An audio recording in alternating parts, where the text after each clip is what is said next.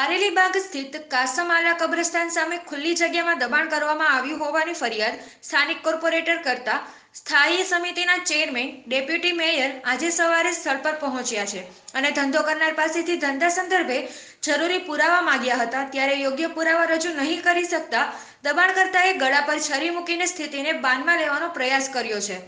મામલો બીચકતા દબાણ શાખા અને પોલીસને જાણ કરતા તાત્કાલિક સ્થળ પર પહોંચ્યા છે અને દબાણ દૂર કરવાની કામગીરી હાથ ધરી છે. શહેરમાં એક મોટું દબાણ અઘોરા મોલ દ્વારા કરવામાં આવ્યું હોવાનું સૌ કોઈ જાણે છે, પણ પાલિકા તંત્ર અઘોરા મોલના સંચાલકો સામે નક્કર કાર્યવાહી કરવામાં નિષ્ફળ રહી હોવાનું પણ તમામ લોકો જાણે જ છે. ત્યારે આજ રોજ કારેલીબાગ વિસ્તારમાં આવેલા કાસામાલા કબ્રસ્તાન સામે આવેલી ખુલ્લી જગ્યામાં કાર વોશ અને રેસ્ટોરન્ટ દ્વારા કરવામાં આવેલ દબાણવાળી જગ્યા પર સ્થાયી સમિતિના chairman doctor Hitendra Patel, deputy mayor Nandaben Joshi તથા સ્થાનિક કાઉન્સિલર પહોંચ્યા હતા. સ્થળ પર પહોંચીને દબાણકર્તા પાસેથી મંજૂરીના યોગ્ય પુરાવા પણ માંગ્યા હતા.